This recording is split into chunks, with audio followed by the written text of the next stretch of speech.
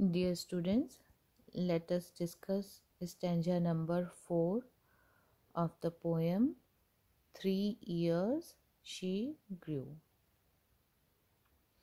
The stanza is like this The floating clouds their state shall lend to her, for her the willow bend, nor shall she fail to see even in the motions of the storm, grace that shall mold the maiden's form by silent sympathy. So, in these lines, we see that nature is elaborating what qualities she will lend to Lucy or she will give to Lucy through its uh, objects. Or uh, you we may say um, animate or inanimate things of nature. प्रकृति की जो शक्तियाँ हैं प्रकृति के जो objects हैं whether they are living वो जिनमें जीवन है या वो निर्जीव है वो सभी लूसी को कुछ ना कुछ सीखने के लिए देंगे और वो कौन कौन से ऑब्जेक्ट्स हैं और वो उनसे लूसी को क्या क्या शिक्षा मिलेगी, ये भी देखते हैं इस स्टेंजा में। तो द फ्लोटिंग क्लाउड्स फ्लोटिंग यानी जो तैरते हुए फ्लोट कहते हैं एक्चुअली फ्लोट कहते हैं तिरना। तैरना नहीं, तिरना तैरना कहते हैं स्विम स्विम करने को, जब कोई एफर्ट करके तैरते हैं फ़िज़िकल एफर्ट करके। और फ्लोट यानी तिरना, जैसे अगर हम कोई पेड़ का पत्ता पानी में गिर जाता है या कोई कागज़ पानी में गिर जाता है तो it itself floats on the water अपने आप ही वो पानी पर very smoothly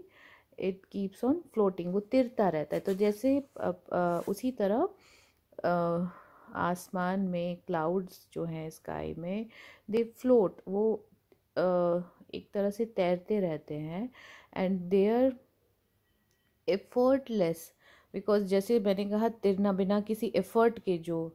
पानी मर, पानी पर तैरता है, उसको फ्लोटिंग कहते हैं। तो क्लाउड्स भी they also we can say float in the sky without any effort and their grace and because any art or any skill which seems effortless is the best art. वही सबसे सुंदर art है जिसमें किसी प्रकार का दिखावा या एफर्ट महसूस नहीं होता। तो जो फ्लोटिंग क्लाउड्स हैं, वो उनका क्या देंगे लूसी को क्या सिखाएँगे? Their state shall lend lend वैसे कहते हैं उधार देने को बट यहाँ land means you can say they will teach Lucy and what they will teach their state state कहते हैं uh, चलने को जो चाल होती है वे ऑफ़ वॉकिंग तो their way of floating in the sky means their uh, uh, grace and grandness they will teach to lucy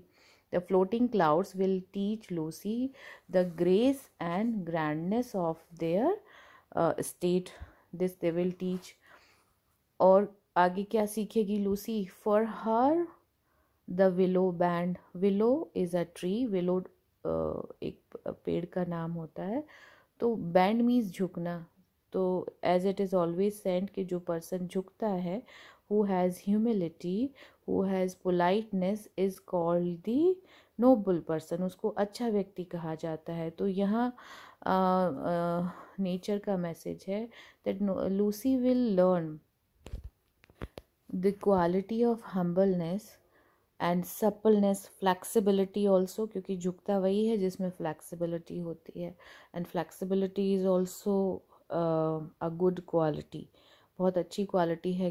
एक quality of adjustment of being capable to adjust with other which is also very important तो Lucy will learn this quality from the willow tree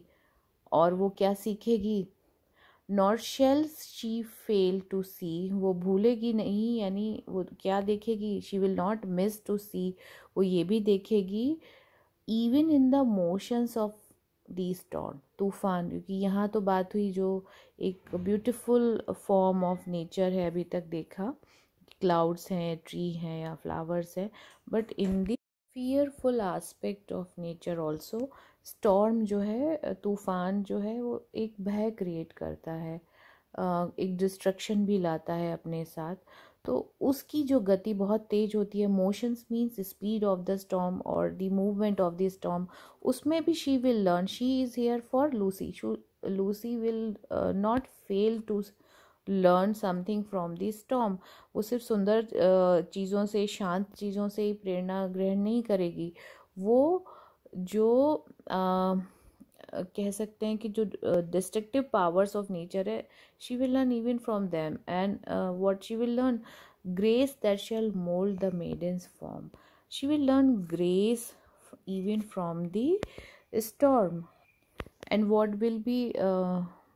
uh, that grace that grace will uh, will be the silent adjustment to nature because sometimes when we are overpowered by someone uh, and we are not able to do anything then uh, we can just watch things happening around ourselves just keeping our mind uh, stable so this is the thing that lucy will learn from the storm and it will mold her the maiden's form तो mould means shape करना mould कहते हैं सांचे को भी जैसे किसी सांचे में अगर हम आ, कोई आ, आ, कुछ गीला ऑब्जेक्ट डाल देते हैं। एक जैसे कुछ मूर्तियाँ ही हैं वो सांचे में डालते हैं तो उसी शेप में बन जाती है। उसी तरह उसका जो फॉर्म यानी कैरेक्टर मेडन मीन्स गर्ल तो it all these attributes will shape this girl's character ये उसका ये कैरेक्टर को बनाने में they will play an important role और कैसे? By silent sympathy silent mean से शांत रहकर भी by silent understanding all these attributes will be provided to Lucy ये सारे गुड जो हैं वो लूसी को मिलेंगे and she will also assimilate and learn all these qualities by a sense of understanding and not from oral teaching. ये सारी चीज़ें जो हैं, वो लूसी सिर्फ़ एक समझदारी से अ सेंस ऑफ़ ऑब्जर्वेशन से सीखेगी। वो एक ओरल टीचिंग जैसे फॉर्मल टीचिंग स्कूल्स में होती है या कॉलेजेस में डायरेक्ट टीचिंग आपके पेरेंट्स या टीचर आपको कुछ करने के लिए या ना करने के लिए सिखाते हैं तो उससे नेचर का तरीका बिल्कुल अलग है। All these objects around Lucy will provide her happiness glee and brightness of the character. She will be happy all the time and at the same time she will be respective all the uh, objects of nature and she will be learning something or the other from the each object. So this is stanza number 4 i hope aapko samajh aaya hoga in the next video we will discuss stanza number 5 thank you